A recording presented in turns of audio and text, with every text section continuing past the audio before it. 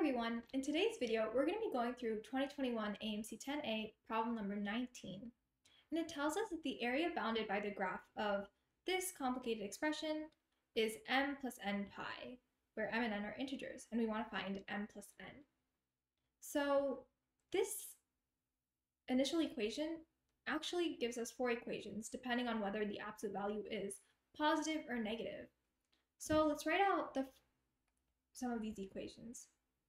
So if both of our absolute values are positive, we have x squared plus y squared is equal to 3x minus 3y plus 3x plus 3y, which is just equal to 6x. We can complete the square and move this to the other side and see that this expression is equal to x minus 3 squared plus y squared, which is equal to 9. And for those of you who don't know, this represents the equation of a circle that has a center of 3, 0 and a radius of 3. Let's look at some other expressions. We have x squared plus y squared is equal to 3x minus 3y plus negative 3x minus 3y. This is equivalent to negative 6y, and this evaluates to x squared plus y plus 3 squared is equal to 9, again by completing the square and bringing it over to the other side. And this is a circle of center 0, comma negative 3 with radius 3. For our other two equations, we do a similar process. We have x squared plus y squared equals 3y minus 3x plus 3x plus 3y. This is equal to 6y, so we have we have x squared, sorry, we have x squared plus y minus 3 squared, and this is equal to 9. This is a circle of radius 0, comma 3 with the radius 3. And our last equation is x squared plus y squared is equal to 3y minus 3x plus negative 3x minus 3y.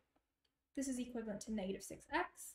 This gives us an equation of x plus 3 squared plus y squared again just by completing the square. This is a circle of center negative 3 comma 0 and radius 3. So now that we have all the expressions, you can graph them and you'll see that it looks something like this. So we have all these circles of radius 3. This is the point 0, 0. And from here, it's pretty easy to calculate the area. We have two full circles of radius 3. That gives us an area of 2 times 3 squared pi, which is just 18 pi. And we also have this square in the middle that has a side length of 6, so its area is 6 squared, which is 36. So our total area is 36 plus 18 pi. And we're trying to find m plus n, which is 36 plus 18, or 54. So our answer is E, 54. So then in this problem, all we did was expand out for all possible combinations of our absolute values. When you have absolute values, that's a pretty common thing to do, especially when we're trying to look for an area. And we just plotted all of those graphs and found that our answer was 36 plus 18 pi. Thank you for watching.